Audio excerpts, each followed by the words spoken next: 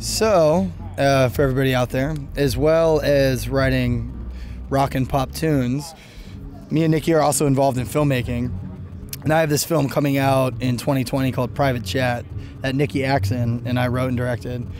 Uh, so ho- hopefully, we'll be playing at festivals in, in, early 2020, and more people will see it. You know, it, um, you know, it, it's like a 90-minute movie about this guy who falls in love with a cam girl. Is there a lot of music in the film? Is there bodega No, music? No, I, I made a well. Really funny. No, I mean uh, the the script that I wrote is very.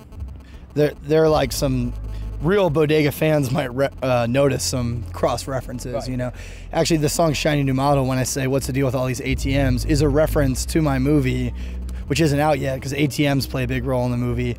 Um, a bunch of people while working on it were like, what are, what's the deal with all these ATMs? So I don't like it when there's too much music in a movie because when you hear footsteps, uh, when you hear like the chugging of a train, that to me is the music of the city, and that's what I like to have in the soundtracks. And Private Chat sounds like a bodega song in itself, doesn't it? Yeah, it does. Yeah, yeah, yeah. I was I, I wrote and the lyrics for Endless Scroll as I was writing the script for Private Chat, so I was obsessed with this kind of the- thematic. Yeah.